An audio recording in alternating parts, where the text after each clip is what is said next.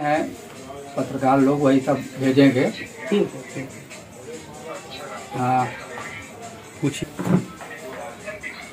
हाल तो ठीक है बस वही सब वार वार चल रहा था सुबह। अभी तो कुछ साल थे शायद मीटिंग वीटिंग चल रही है। हाँ। हाई लेवल कमांड की। तो उसी में जो चीज़ें चल रही है चल रही है अभी फ़िलहाल तो। अभी तो हम लोगों को कोई आदेश नहीं है कोई ऐसा कुछ आया नहीं है। हम्म।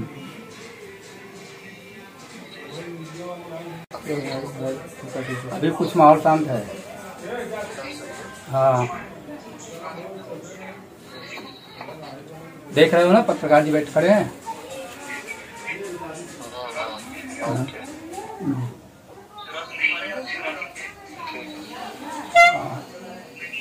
तब अब कैसे आना होगा कैसे सुविधा?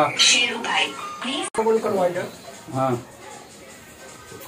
ये रशिया से और वहाँ जो है यूक्रेन से कुछ मीटर ऐसा जो चल रहा है कि जिससे हमारे बच्चे परेशान हाल में वहाँ पे पड़े हुए हैं। हम यही चाहते हैं कि हमारे बच्चे अपने घर वापस आ जाएँ और हमारे प्रधानमंत्री से निवेदन है कि वो उसका व्यवस्था करें और जो इंडिया के बच्चे वहाँ पे मौजूद हैं, तमाम बच्चे परेशान हाल में हैं, सब अपने इंडिया, अपने घर में, अपने माँ बाप के बीच में आ जाएँ।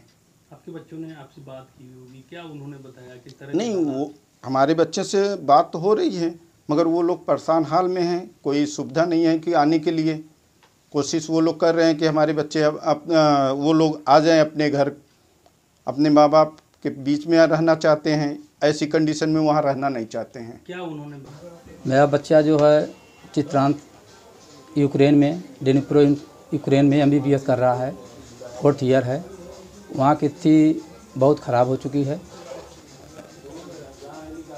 और आने जाने की सुविधा हो गई है बच्चे वहाँ से फंसे हुए हैं और सरकार से अनुरोध है मेरे बच्चों को किसी तरह से वहाँ निकाला जाए। और पैसे की सुविधा हो गई है खाना पीना का समस्या हो गई है सामान भी नहीं मिल पा रहे हैं। एक ही दिन की हालत है तो और दिन रहे तो क्या हालत होगी? कब से वहाँ पर है बेटा आपका? चार साल से है।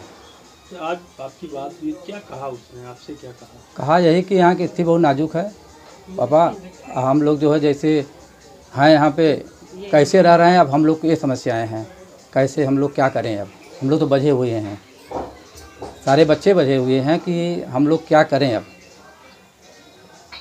अभी नहीं समझ में आ रहा है। तो प्रधानमंत्री से अपने इंडिया के प्रधानमंत्री से अनुरोध है कि वहाँ से हम लोग को बुलाएँ।